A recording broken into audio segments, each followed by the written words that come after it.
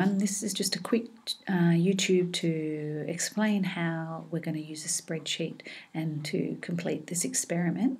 So first thing you want to do is download the spreadsheet by clicking on um, either the GM for Geiger-Müller tube or the scintillator sheet, depending on which um, one of these two different types of uh, apparatus you're going to be using.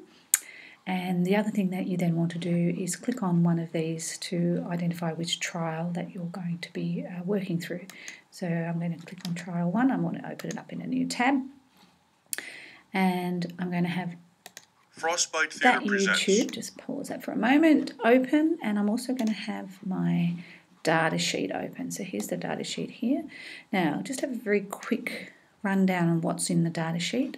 So we're going to be taking readings every 15 seconds. So I've already set up that through here. But what I'm going to ask you to do is when you actually start using the YouTube, you'll find that it's uh, almost impossible to get it exactly at 15. So I will ask you to annotate this time to represent the time that you actually are making your measurement. Um, we then place the reading from the tube that we're looking at. For, so for this one, it's the Geiger-Müller tube. And then this particular cell here is going to take into account our background radiation reading. So at the start of the YouTube, they'll tell us what the background radiation is. We type it into here and that typing that background radiation represents number of counts in a minute now because we are doing our experiment for 15 seconds which is one quarter of a minute you'll see here that we're taking the value and we're dividing it by 4. So if I click on this cell here, you'll see it highlights the two cells that it's working with.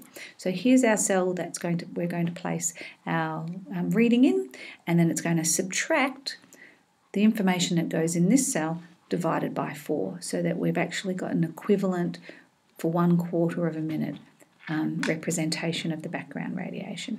Right, so that's pretty much what's going on there. And then in the next cells, we've got the calculation for the activity. Now remember, activity represents how many scintillations we are seeing or how many readings or bips we are seeing per second or per minute um, per second is what we're after. So that tells us how active our sample is. So what we're going to be doing is we're going to be taking this value here that we've got and then we're going to be dividing it by the time it took. Now that works very well for the very first one because it starts at zero. But what you'll realize is that for the next one, if we just take this value and divide it by 30, then we're really not getting a full idea of what's going on. We're actually finding it out for just this segment here. So what our rule actually does, then if I click on this, you'll see which cells it's working.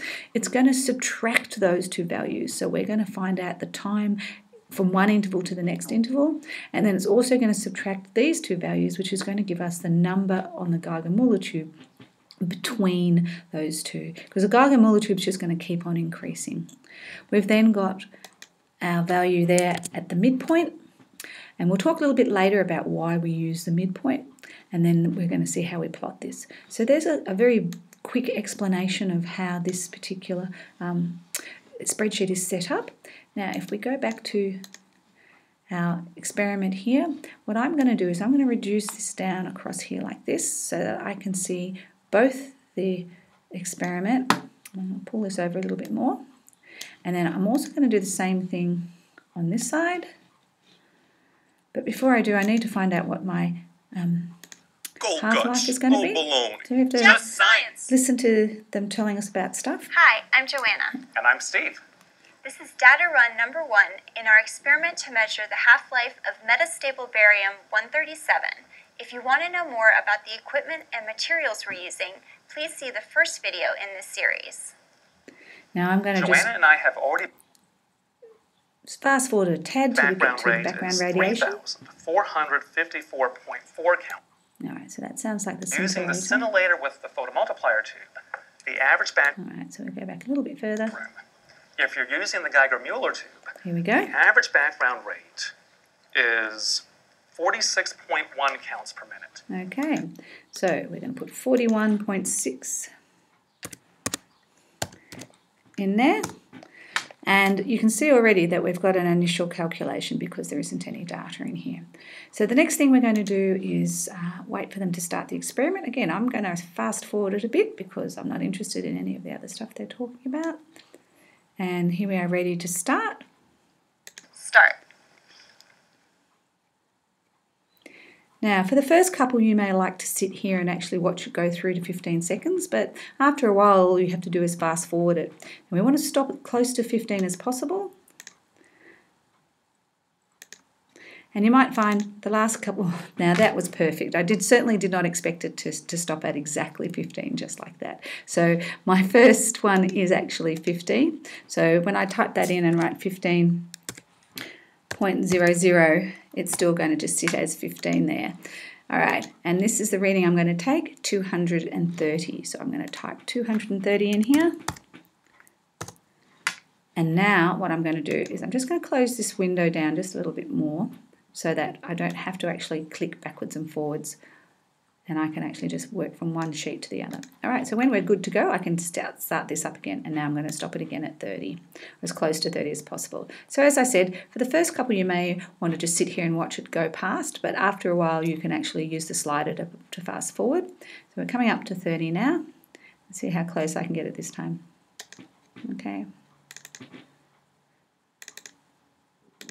Okay, so what I really want to make sure that you guys do is for the reading you're taking, you need to make sure you include those last two decimal places. So I'm going to click on here and I'm actually going to include the 0.08.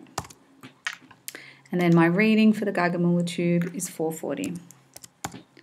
And you're just going to continue on with that, filling it in as you go. And as you can see, the activity is being recalculated for you each time. Remember, it's subtracting, so it'll be subtracting those two over the subtraction between those two to give us the calculation here. Fabulous. Okay, so that's all I'm going to talk about right now, and then we'll talk a little bit later about the analysis in the second video that I make. Thank you for watching.